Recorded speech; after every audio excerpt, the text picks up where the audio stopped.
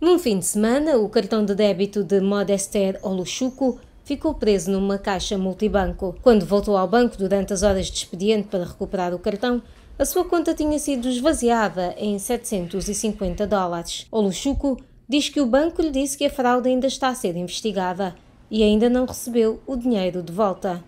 I narrated everything to them. Contei-lhes tudo, até abriram o circuito interno de televisão para verem tudo. Viram-me quando entrei no banco, até chamei a polícia ao fim do dia, mas não aconteceu nada. Escrevi uma carta. At the end of the day, nothing happened. I wrote letter. Apesar do incidente ter ocorrido em 2017, o Luchuco não desistiu. O seu advogado, Ebodage Francis, diz que, devido ao longo período de tempo, pode ser difícil recuperar o dinheiro. So most times when things like this happen, we say that quando acontecem coisas como esta, aconselhamos as vítimas a contactar imediatamente um advogado para que, uma vez feito isso, nós, como advogados, saibamos a quem recorrer, como escrever de imediato aos bancos, congelar a conta e depois contactar as autoridades. Then we also need to uh, reach out to the authorities.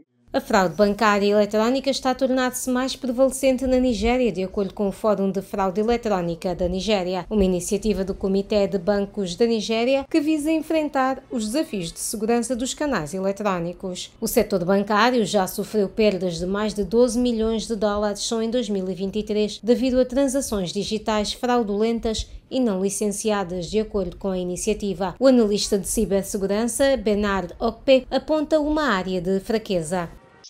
Em algumas destas plataformas, as suas medidas de segurança não são suficientemente fortes. Os consumidores também estão a perder dinheiro através de fraudes nos ATMs ou multicaixas, burlas através da internet, e-mails fraudulentos e serviços de telecomunicações que ajudam os utilizadores a verificar os saldos. E os bancos nigerianos estão a lidar não só com fraudes cada vez mais sofisticadas, mas também com a perda de pessoal experiente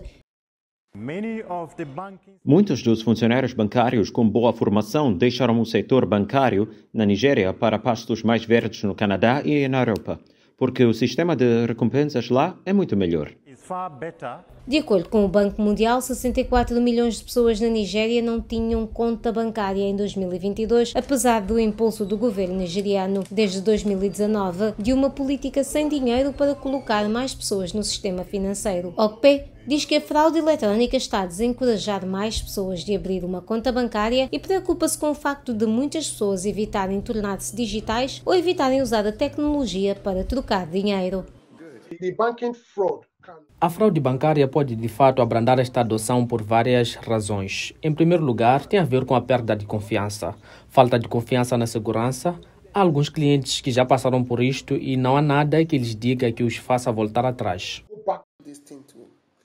Os especialistas afirmam que as pessoas podem proteger-se contra a fraude eletrónica protegendo os dispositivos eletrónicos, evitando a rede Wi-Fi pública para transações financeiras, monitorizando regularmente as contas bancárias, definindo palavras-passe fortes e únicas e ativando a autenticação de dois fatores sempre que possível.